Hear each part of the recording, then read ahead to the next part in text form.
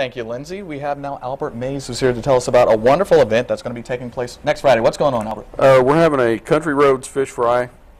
Uh, it's for our church, Salem United Methodist Church, and the event will be held at our church, which is on Highway 63, north of Clinton, just across from Eli Lilly. You can't miss that right across from small Eli Lilly. small brick church. Uh, we're having the event there. Uh, it'll be next Friday night, and we'll be serving from 4:30 to 7.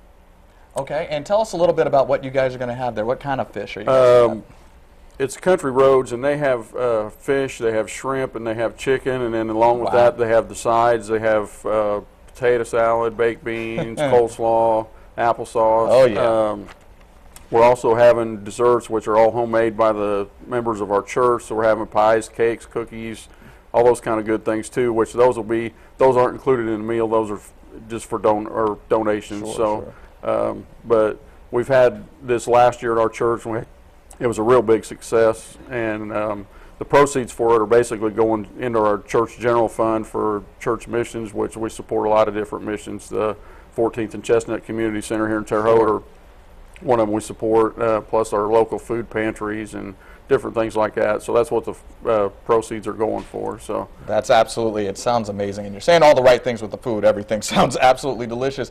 Uh, talk a little bit about ticket prices or how can people get in? um, ticket prices are 8.50 for adults, 5.50 for kids under 12. Um, the tickets are available pre-sale, and they're also available at the door when you come in. So, you know, if you need to get a hold of one of our church members or something to get one ahead of time, or you know, you can just show up and we'll have tickets at the door. So. Absolutely. Sounds like a fantastic event and just a great opportunity to give back to a, a place that, that can definitely use the money and will use it in the right ways Yeah. too. Well, let's take one quick look at all that information one more time. It's going to be next Friday the 20th from 4.30 to 7 p.m., 8.50 for adults, 5.50 for kids. If you want to find out more, you can call 812-239-4778. Thank you very much, Albert. News 10 this morning. We'll be right back.